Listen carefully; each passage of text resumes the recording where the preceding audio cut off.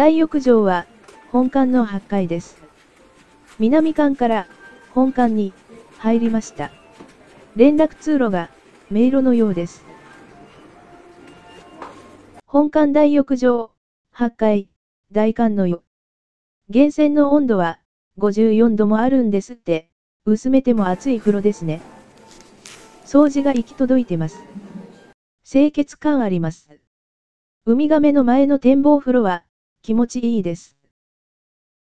いい湯加減の風呂でした。迷路のような本館から南館の連絡通路を渡って、途中の販売機でジュース買って帰ります。夕食バイキングの時間です。スモールランプがついておりますので、フロント内線9番まで連絡お願いいたします。バイキング会場は、この南館の10階です。エレベーターが1機だけだから、エレベーター待ちですね。10階、バイキング会場に到着しました。ではこちらの2名様のお席にごってください。こちら。自由席ですね。しかし、バイキング会場が狭いですね。お楽しみの海鮮串揚げフェア。取りに行きましょう。いやいや。最高です。揚げたてが次から次へと補充されていきます。とりあえず、串揚げを全品2本ずつとビール2杯ですね。もつに荷物が入っていません。握り寿司の3点盛りが一瞬でなくなりました。補充がなかなか出てこない。チキンライスは絶品です。串揚げを取ってきたのはいいのですが、なんだかわからなくなりました。この丸くて大きいのはエビだということはわかります。他は食べてみないとわかりませんね。揚げたてで、サクサク、うまいです。30本近く食べてしまった。第2弾。持ってきました。握り寿司ありました。串揚げは、エビとホタテだけ持ってきました。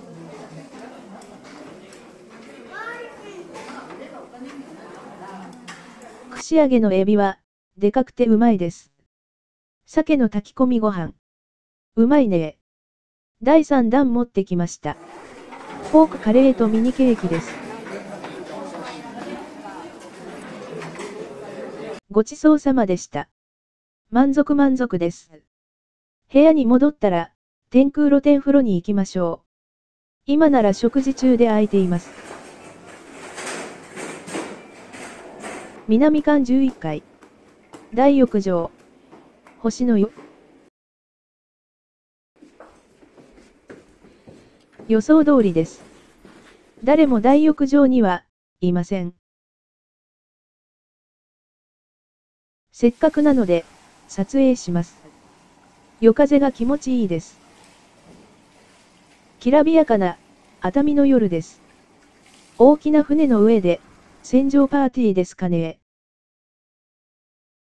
私は、絶景露天風呂の壺の湯に使っています。貸し切り状態の最高の絶景露天風呂でした。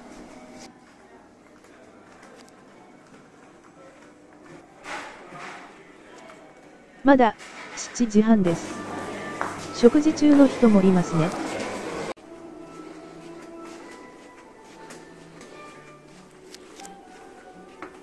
部屋に戻りました。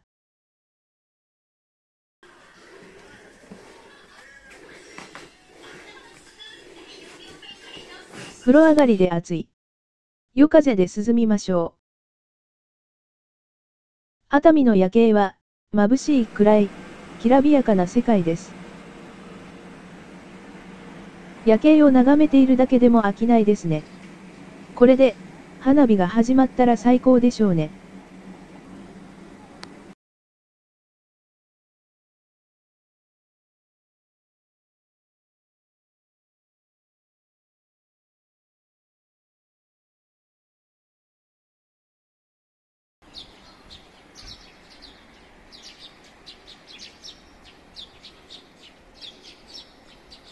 朝5時になったら、大浴場のはしごをします。朝の天気予報では、曇りのち雨なんです。雨具の用意をしなければなりませんね。さあ、5時です。まずは、本館8階の大浴場の大寒の湯に行きます。静かすぎるホテルの館内。みんな、まだ眠っていますね。エレベーターも眠っています。8階で降りて、迷路のような連絡路で本館に渡ります。熱海港は、まだ眠っていますね。古いホテルだそうですが、どこを見ても綺麗で古さを感じません。ここから、急に通路が狭くなります。迷路のようですが、違和感は、全くありません。大寒の湯、大浴場に到着しました。誰もいませんね。貸し切り状態です。のんびり浸かりましょう。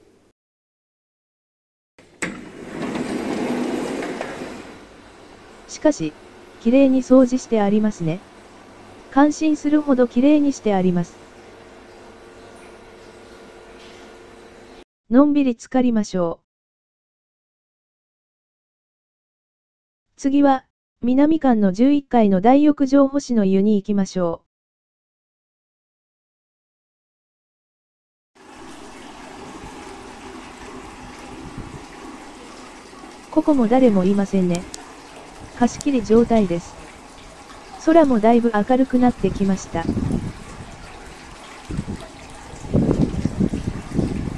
今日は天気が崩れそうです。昨日と違って、今日は肌寒い風です。壺湯で温まりましょう。まだ眠っている熱海港です。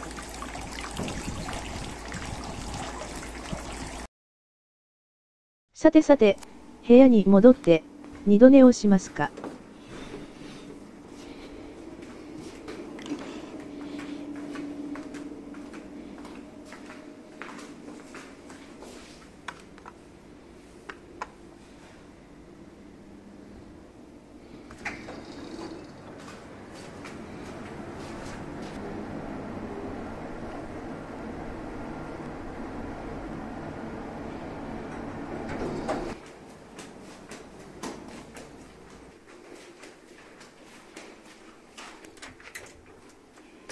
部屋に戻りました。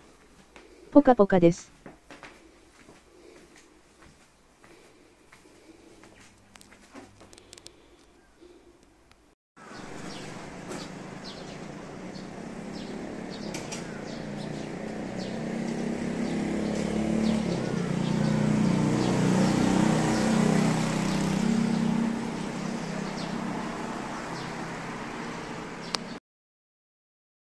朝の7時です。朝食バイキング会場に行きましょう。ホテルの館内に音楽が流れ始めました。一日の始まりですね。朝ごはんを食べたら、すぐに出発しましょう。雨が心配です。